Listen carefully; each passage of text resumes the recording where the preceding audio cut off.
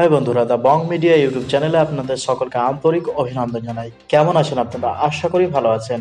হ্যাঁ বন্ধুরা, এই মুহূর্তে সব থেকে বড় খবর হলো, শুভেন্দুর ভাই দিব্যেন্দুকে ঘাড় ধাক্কা দিয়ে বের করল তৃণমূল কংগ্রেস। তো বন্ধুরা, আজকে এ নিয়ে থাকবে বিস্তারিত আলোচনা। তো মূল ভিডিওতে প্রবেশ করার পূর্বে আপনাদের নিকট একটি ছোট্ট রিকোয়েস্ট যদি আপনারা আমাদের চ্যানেলে প্রথমবার এসে থাকেন এবং আমাদের চ্যানেলটিকে এখনও পর্যন্ত সাবস্ক্রাইব করে না থাকেন, তো অবশ্যই সাবস্ক্রাইব করুন এবং পাশে থাকা বেল আইকনটিকে প্রেস করুন। তমলুকের সাংসদ দিব্যেন্দু অধিকারীর বিরুদ্ধে কঠোর ব্যবস্থা নিতে রাজ্য কমিটিকে সুপারিশ করল পূর্ব মেদিনীপুর জেলা তৃণমূল নেতৃত্ব। সোমবার দিব্যেন্দু দাদা তথা নন্দীগ্রামের বিধায়ককে পশ্চিমবঙ্গ বিধানসভার বিরোধী দলনেতা হিসেবে ঘোষণা করেছে রাজ্য বিজেপি। তারপরে জেলা তৃণমূল নেতৃত্বের পক্ষ থেকে এই সুপারিশ। রাজনৈতিকভাবে যথেষ্ট তাৎপর্যপূর্ণ বলে মনে করা হচ্ছে। পূর্ব মেদিনীপুর জেলা তৃণমূলের সভাপতি সৌমেন মহাপাত্র বলেন, আমরা আমাদের সুপারিশ রাজ্য কমিটির নেতৃত্বের কাছে পাঠিয়েছি। এবার তারা যা সিদ্ধান্ত নেবেন তাই চূড়ান্ত হবে।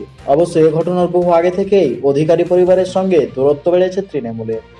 গত বছর উনিশে ডিসেম্বর মেদিনীপুরে শুভেন্দু তৃণমূলে যোগদানের পর থেকেই অধিকারীদের সঙ্গে তৃণমূল নেতৃত্বে কার্যত সংঘাত শুরু হয়েছে। তার ঠিক পরে দাদার হাত ধরে তৃণমূল ছেড়ে বিজেপিতে গিয়েছেন ভাই সৌমেন্দু অধিকারী। এগরায় অমিত শাহের জনসভায় হাজির হয়ে দলের বিরুদ্ধে একরাশ ক্ষোভ উগড়ে তৃণমূলের চক্ষুশূল হয়েছেন শুভেন্দু সৌমেন্দুর বাবা শিশির অধিকারী, যিনি এখনও কাঁথি লোকসভা থেকে তৃণমূলের নির্বাচিত তৃণমূল সাংসদ। পরিবারের সদস্যদের এত বিদ্রোহ সত্ত্বেও মৌনী থেকেছেন একমাত্র দিব্যেন্দু। এখনও প্রকাশ্যে তৃণমূল নেতৃত্ব বা মুখ্যমন্ত্রী মমতা বন্দ্যোপাধ্যায়ের বিরুদ্ধে কোনো বিরূপ মন্তব্য করেননি। এবার তার বিরুদ্ধে কড়া ব্যবস্থা নেওয়ার সুপারিশ করলেন জেলা তৃণমূলের শীর্ষ নেতারা।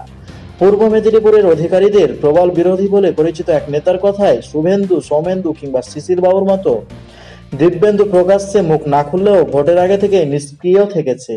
এছাড়াও গোপনে দল বিরোধী কাজে পরিবারের সঙ্গ দিয়েছে। সেই প্রমাণও তাদের কাছে রয়েছে। সেই সব প্রমাণ দিয়েই রাজ্য নেতৃত্বকে তার বিরুদ্ধে কড়া ব্যবস্থা নেওয়ার আবেদন জানিয়েছে।